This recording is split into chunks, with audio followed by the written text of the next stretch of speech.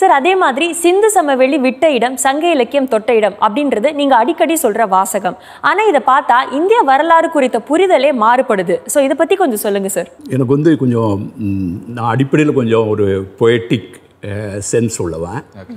நான் பேசுகிற விஷயங்கள் வந்து மக்களுடைய மனதில் வந்து ஒரு ஆழமாக பதிக்கணும் அப்படிங்கிறதுக்காக சில நேரங்களில் ஒரு ரைமிக்கு ரிதமிக்காக சொல்லணும்னு விரும்புவேன்.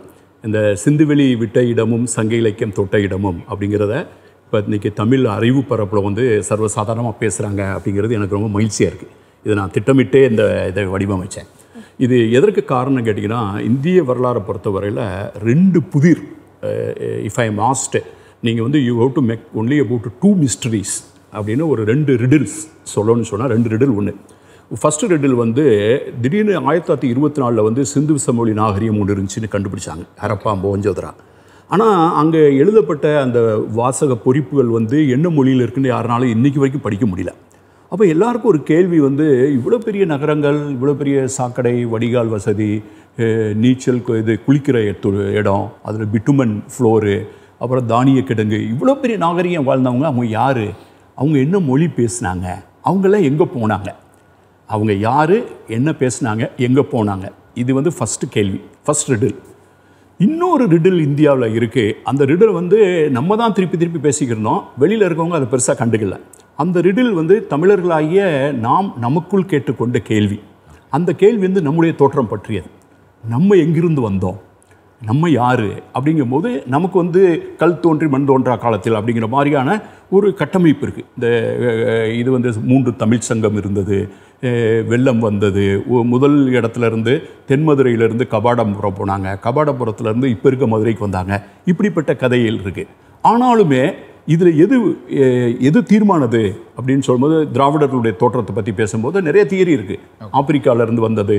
மத்திய தரைக்கடல் பகுதியிலிருந்து வந்தது லெமூரியா கண்டம் இப்படிலாம் இருக்குது இந்த ரெண்டு ரிடிலுக்கு வந்து முழு விடை கிடைக்காம இருக்குது நான் வந்து இதை ரெண்டையும் கனெக்ட் பண்ணி நான் திங்க் பண்ணும்போது இந்த இரண்டு புதிர்களுமே ரெண்டு புதிர் மாதிரி தெரிஞ்சால் கூட இந்த ஒரே நாணயத்தினுடைய இரண்டு பக்கங்கள் this two riddles are the two sides of a same coin இதில் ஏதாவது ஒரு புதிருக்கு விடையை கண்டுபிடிச்சா இன்னொரு புதிருக்கான விடையை கண்டுபிடிச்சிட முடியும் அப்படின்னு எனக்கு நம்பிக்கை ஏற்பட்டது.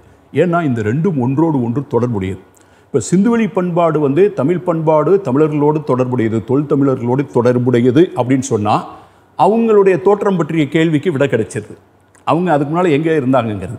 அல்லது இந்த கேள்விக்கு முதல்ல விடை கிடைச்சதுன்னா அதை யார் பண்ணியிருப்பாங்கன்னு தெரியும். ஆக இந்த two questions are interconnected அப்படிங்கிறத மனசில் வச்சு தான் இந்த சிந்திவெளி விட்ட இடம் சங்க இலக்கியம் தொட்ட இடம். இந்த விட்ட இடம் தொட்ட இடம்ங்கிற இதை வந்து நான் பர்பஸாக பயன்படுத்துறது அதுக்காக தான். ஓகே சார் அண்ட் சார் அதே மாதிரி வந்து உங்களுக்கு வந்து வெரைட்டி ஆஃப் ஜானர்ஸ் கவர் பண்ணியிருக்கீங்க. நீங்கள் உங்களுடைய புக்ஸில் நாங்கள் வந்து பொயட்ரி இதுவும் வந்து நாங்கள் பார்த்துருக்கோம் உங்களுடைய புக்ஸில் வெரைட்டி ஆஃப் ஜானர்ஸ் எப்படி நீங்கள் வந்து ஹேண்டில் பண்ணுறீங்க கிரியேட்டிவ் ரைட்டிங்லேயும் உங்களுக்கு பயங்கரமான ஒரு இன்ட்ரெஸ்ட் இருக்குது ஸோ இதை பற்றி எங்களோட ஷேர் பண்ணுங்களேன் சார் உங்களுடைய புக்ஸ் பற்றிலாம் நான் வந்து அடிப்படையில் ஒரு கவிஞன். நான் வந்து இந்தியன் ஆட்சி பணிக்கெலாம் முன்னால் போகிறதுக்கு முன்னால் நாடகம் நடிச்சிருக்கேன். நாடக குழு வச்சுருந்தேன். இந்த மாதிரி எனக்கு வந்து நடிப்பு கவிதை நாடகத்துக்கு பாட்டு எழுதுறது இந்த மாதிரி தான் நான் வளர்ந்தது. அப்படிங்கும்போது என்னுடைய ஃபஸ்ட்டு க்ரியேட்டிவ் ரைட்டிங்னா நைன்டீன் நைன்டி ஒனில் அன்புள்ள அம்மான்னு ஒரு கவிதை தொகுப்பு போட்டேன். அதுக்கு பின்னால் என்னுடைய வேலை வந்து ரொம்ப சீரியஸ் நேச்சராக புயல் ஹேண்டில் பண்ணுறது எலெக்ஷன் ஹேண்டில் பண்ணுறது இப்படியே ரொம்ப ஒரு ஹெவி ஜாப் அசைன்மெண்ட்ஸில் இருந்ததுனால I actually went away from the writing ஒரு நைன்டி ஒனுக்கு பின்னால் அடுத்து வந்து என்னுடைய தமிழ் நூல் வந்து ரெண்டாயிரத்தி பன்னெண்டில் தான் சிறகுக்குள் வானம். அப்போ சிறகுக்குள் வானம் இரண்டாம் சுற்று பன்மாயக்கல்வன் நாட்டுக்குரல் குண்டன நிமிர்ந்து நெல் இப்போ அண்மையில் வந்து கடவுள் ஆயினுமாக இந்த மாதிரி நிறையா. சிலது வந்து ரிசர்ச் ஓரியன்ட் புக்கு சிந்துவெளி பண்பாட்டின் திராவிட அடித்தளம். ஒன்று வந்து ஒரு டைமென்ஷன் வந்து சீரியஸ் ரிசர்ச் ஒர்க்கு எனக்கு இன்னொன்று வந்து இந்த நாட்டுக்குரல் அப்படிங்கிறதெல்லாம் அந்த நாட்டுக்குரல் வந்து ஒரு ஏழு திருக்குறள் பேஸ் பண்ணி இந்த நாட்டுப்புற பாடல். இதை வந்து நாரதகான சபாவில் தாஜ்னூர் இசையமைப்பாளர் தாஜ்னூர் இசையில் எல்லா சிறந்த பாடகைகள்லாம் வச்சு நாங்கள் பண்ணோம். இது ஒரு நிகழ்ச்சி தொலைக்காட்சியெல்லாம் ஒளிபரப்பானது. அதுக்கே காரணம் என்னென்னு கேட்டிங்கன்னா அது வந்து ஒரு ஆர்டிகுலேஷன் தான். அந்த காலகட்டத்தில் வந்து திருவள்ளுவரை வந்து கையகப்படுத்துகிற முயற்சிகள்லாம் தமிழ் பரப்பில் நான் இந்த மாதிரி அடிக்கடி பார்த்துட்ருக்கோம். திருவள்ளுவரை வந்து யார் அப்படிங்கிற கேள்வி. அப்போ திருவள்ளுவர் வந்து யாருங்கிற கேள்விக்கு நான் சொல்ல விரும்பின பதில் வந்து திருவள்ளுவர் வந்து ஒரு மகத்தான கவிஞன். அதனால் அவருடைய காதல் கவிதைகளை பற்றி தான் நான் அதிகம் எழுதுவேன். திருவள்ளுவர் எழுதுன காதல் கவிதைக்கு ஏழு நாட்டுப்புற பாடல்கள். அது ஆல்பமாக வந்தது புக்காக வந்தது. திருப்பி வந்து அவர் அவர் எழுதுகிற அந்த இன்பத்துப்பால் கவிதைகளுக்கு என்னுடைய புது கவிதைகள் பன்மாய கல்வன்கிற பேரில் ஒரு தொகுப்பாக வந்தது.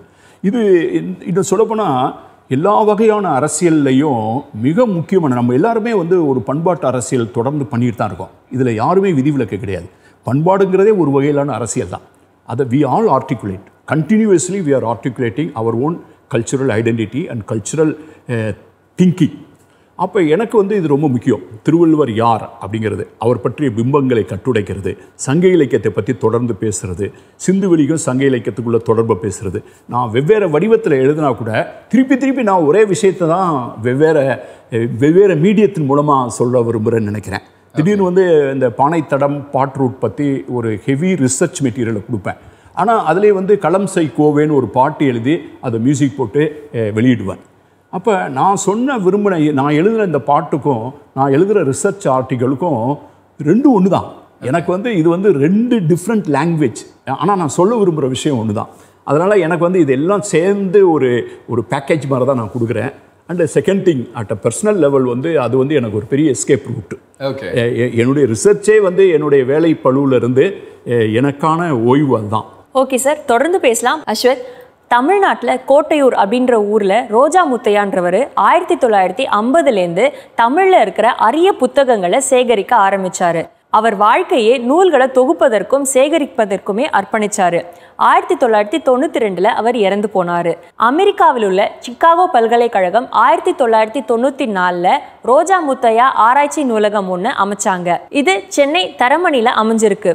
ஒரு லட்சத்தி இருபதாயிரக்கும் மேற்பட்ட பத்திரிகைகள் விளம்பரங்கள் இதழ்கள் நூல்கள்னு பல தமிழ் பொக்கிஷங்கள் இதில் இருக்கு. இது பொக்கிஷ சுரங்கம்னே சொல்லலாம்.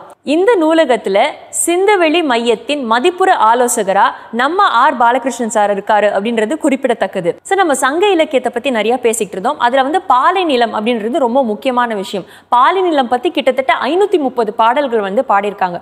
அந்த பாடல்களில் தமிழ்நாடு எல்லையை தாண்டி ரொம்ப தூரத்தில் இருக்க ஊரை பற்றின குறிப்புகள் கூட அதில் இருக்கு.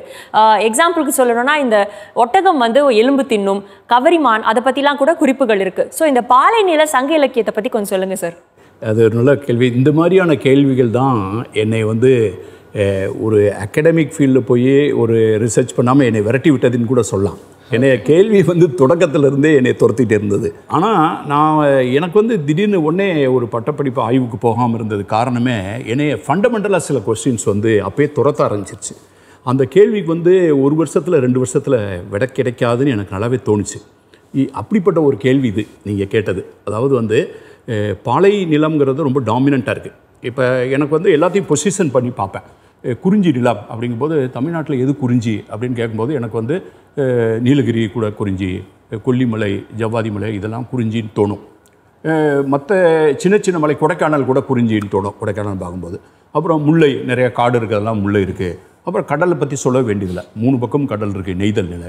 அப்போ இந்த பாலை நிலம் அப்படிங்கிறது வந்து என்ன பாலை நிலம் அப்படின்னா நான் கேட்டு வளர்ந்தது வந்து பாலைவனம்னா தார் பாலைவனம் அப்படின்ட்டு. அப்போ பாலை நிலம் அப்படின்னு சொன்னால் முள்ளையும் குறிஞ்சியும் முறைமையில் திரிந்து நல்லியல்பு இழந்து அதாவது அந்த மலைப்பகுதியும் காட்டுப்பகுதியும் காலப்போக்கில் டிசர்டிஃபிகேஷன் ஆகி ஒரு வரல் நிலம் ஆயிரும் அப்படின்லாம் விளக்கம் சொல்லியிருக்காங்க. பட் இந்த விளக்கத்தெல்லாம் சொன்னால் கூட எனக்கு சமா சமாதானம் ஆகலை. ஏன்னா ஒரு இடத்துல வந்து ஒரு வணிகர்கள் இந்த வியாபாரம் பண்ணுறவங்களாம் அவங்களுடைய வணிக சுமையை கொண்டு போகும்போது ஒரு ஒரு ஒட்டகம் வந்து பசி தாங்க முடியாமல் செத்துப்போன விலங்குகளுடைய எலும்பை திங்கிது. அப்போ அந்த ஒட்டகத்தினுடைய பேக்ரவுண்ட் அந்த ஜாகிரபிக்கல் பேக்ரவுண்ட் வந்து அது கோயிலில் கட்டி போட்டிருந்தது இல்லை சர்க்கஸில் இருந்த விலங்குன்னு சொன்னால் அது வேறு விஷயம். இது வந்து சுமையை தூக்கிட்டு போகிற ஒட்டகங்கிறாங்க. அது ஒன்றுமே சாப்பிட்ற கிடைக்கலைங்கிறாங்க எலும்பு திங்குதுங்கிறாங்க. சுமையை வந்து தென்னிந்தியாவில் எங்கேயாவது ஒட்டகத்தை வந்து பயன்படுத்தியிருக்காங்களா? அப்படின்னு பார்க்கும்போது தென்னிந்தியாவில் ஒட்டகம் பயன்படுத்தலை. இன்றைக்கி மெரினா பீச்சில் ஒட்டகத்தை ஒருத்தர் வச்சுருக்காங்கிறதுக்காக ஒட்டகம் வந்து வணிக சுமையை தூக்கிட்டு போகிறது கிடையாது. இப்போ இந்த மாதிரியான கேள்வி வந்து என்னைய என்னை சேஸ் பண்ணிக்கிட்டே இருந்தது.